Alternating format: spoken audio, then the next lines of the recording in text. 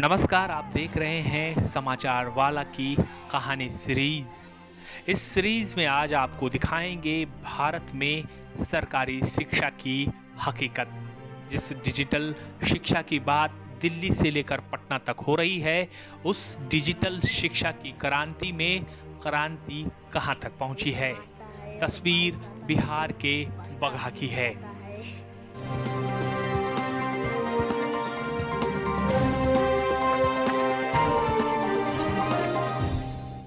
केंद्र की सरकार और राज्य की सरकार शिक्षा के क्षेत्र में क्रांति लाने की बात करती है और इसी के मद्देनज़र विद्यालयों को स्मार्ट क्लास के ज़रिए हाईटेक बनाने का दावा सरकारी बाबू करते रहे हैं। खासकर कोरोना काल में ग्रामीण इलाकों के स्कूल को हाईटेक बनाने की कवायद शुरू हो गई है। सरकार ये दावा कर रही है कि स्मार्ट क्लास के ज़रिए हम उन बच्चों को शिक्षा पहुंचाएँगे जो कतार के आखिरी पंक्ति में खड़े हैं। लेकिन जो तस्वीर आपकी आँखों के सामने है, वो सरकारी दावों के पोल खोलने के लिए काफ़ी है। आपके मोबाइल स्क्रीन पर जो तस्वीर दिख रही है, वो बिहार के बगहा की है। बगहा के गोरी बेलवा टोला में संचालित हो रही राजकीय प्राथमिक विद्यालय की ये तस्वीर बताती है, जिसे हम आज डिजिटल युग कह रहे हैं, वहाँ बच्चे किस तरह से ग्रामीण इलाकों में खुले आसमान और पेड़ के नीचे सड़क पर बैठकर पढ़ने को मजबूर हैं? है? किशन देव कुमार। किस क्लास में पढ़ते हैं? पांचवा। क्या दिक्कत होती है तुम लोग को? धूप मारता है और बारिश आता है तो बस्ता भीग जाता है। भवन नहीं है स्कूल स्कूल नहीं है? नहीं। सड़क पर। अच्छा अच्छा ठीक है।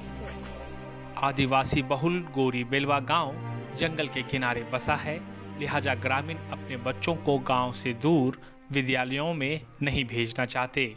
ग्रामीणों ने 20 साल पहले चंदा इकट्ठा कर ज़मीन खरीदी और फिर उसे राजपाल के नाम पर डोनेट कर दिया, ताकि उनके गाँव में ही स्कूल की बुनियाद खड़ी हो सके। बच्चों को दूर दराज स्कूली शिक्षा के लिए नहीं जाना पड़े। बावजूद इसके, शिक्षा विभाग की उदासीनता के कारण इस विद्यालय के लिए अब तक भवन नहीं हो पाया। लिहाजा, बच्चे धूप हो या बरसात, खुले आसमान के नीचे पढ़ने को मजबूर हैं। इस विद्यालय में भवन के नाम पर एक टूटी फूटी झोपड़ी है, जो विद्यालय का दफ्तर है, लेकिन बरसात में कागज़ी दस्तावेज़ या सामान ना भींगे, इस वजह से शिक्षक, शिक्षिका, अटेंडेंस रजिस्टर या या तो किसी अभिभावक के घर रखते हैं अथवा अपने साथ लेकर जाते हैं। प्राथमिक विद्यालय गौरी बिलवा का टोला अच्छा आप यहाँ कब से पदस्थापित कब से यह विद्यालय संचालित है 2007 से यहाँ विद्यालय संचालित हो रहा है। और आप कब से हैं यहाँ पे? दिसंबर 2007 में हमारी बहाली हुई है। कितने शिक्षक शिक्षिका हैं यहाँ पे? यहाँ दो शिक्षक हैं बच्चे एटी अभी भवनहीन विद्यालय है जी बच्चे। भवनहीन विद्यालय। अटेंडेंस रजिस्टर रजिस्टर कहाँ रखा जाता है? यहाँ तो भवन भी नहीं है। जी एक झोपड़ी बना है उसी में रखते हैं हम लोग। बिहार के मुख्यमंत्री नीतीश कुमार के पसंदीदा जगहों में से एक वाल्मीकि नगर। और वाल्मीकि नगर की ये तस्वीर ये बताती है कि जिस डिजिटल स्कूल और डिजिटल क्रांति लाने की बात केंद्र की सरकार से लेकर राज्य की सरकार कर रही है दरअसल उसकी हकीकत क्या है? ग्रामीण इलाकों की ये तस्वीर सिर्फ़ एक गाँव तक सीमित नहीं है।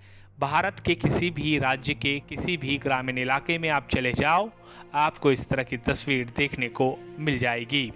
सरकारी स्कूलों की ये व्यवस्था ये बताती है कि जिनके पास पैसे नहीं हैं, जो गरीब हैं, उनके बच्चे कमोबेश इसी हालात में शिक्षा ग्रहण करने को मजबूर हैं। भले ही रांची, पटना जैसे बड़े बड़े शहरों में होर्डिंग के ज़रिए ये बताने की कोशिश सरकार करती हो कि देश में डिजिटल क्रांति आ गई है। हकीकत आपकी आँखों के सामने है।